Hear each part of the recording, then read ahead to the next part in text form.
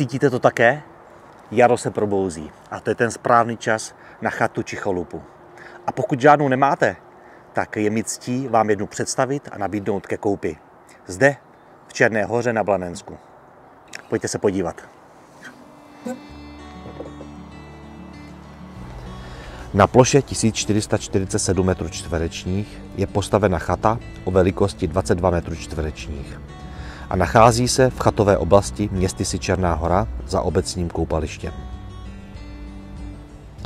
Na mírně svažitém terénu se nachází kromě samotné chaty dvě kůlny na nářadí, dva skleníky na zeleninu, několik ovocných stromů. Dále je na pozemku vlastní studna, zajišťující vodu po celý rok. Do chaty je zavedena elektřina a rozvedena po celém pozemku. A zavedené jsou i dvě zásuvky na 380 V. Chata je podsklepena. Přes verandu se vstupuje do obytného prostoru s kuchyňkou a v podkroví je ložnice. Z venkovní strany se nachází toaleta.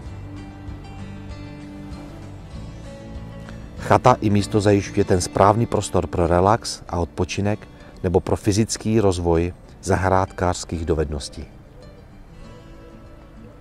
Městy z Černá hora zajišťuje veškerou občanskou vybavenost, restaurace, pizzerie, obchody s potravinami, obchod s domácími potřeby, pošta, sportovní středisko, wellness, autobusové spojení s Brnem i všemi okolními směry. Pokud vás tato chata chytla a rádi byste věděli více, či si domluvili prohlídku, neváhejte mě kontaktovat. Na viděnou.